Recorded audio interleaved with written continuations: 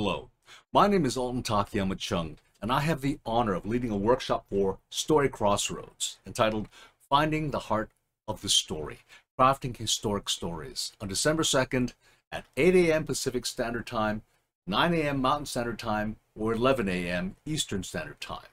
I mean, I love history, and I'm passionate about telling historic stories. Yet, how do you take an experience or a historic incident and breathe life into it? How do you turn facts into a story?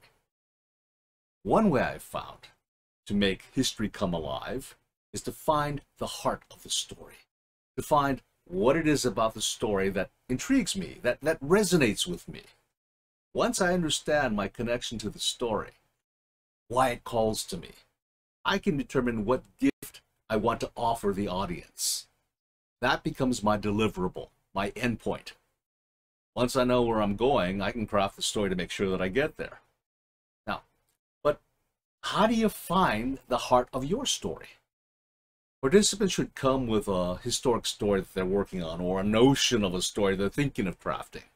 I will lead you through an exercise which may give you some insights into your connection to the story you want to tell.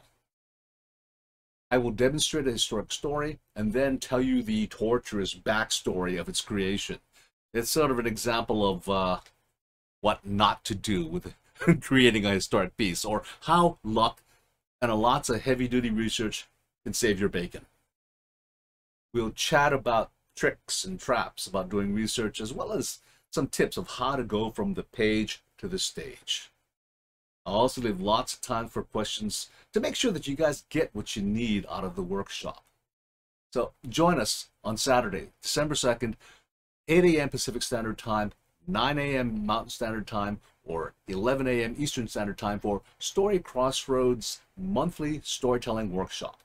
You can register at Story Crossroads, one word, storycrossroads.org slash, one word, all things story. Thanks for your time. Hope to see you there.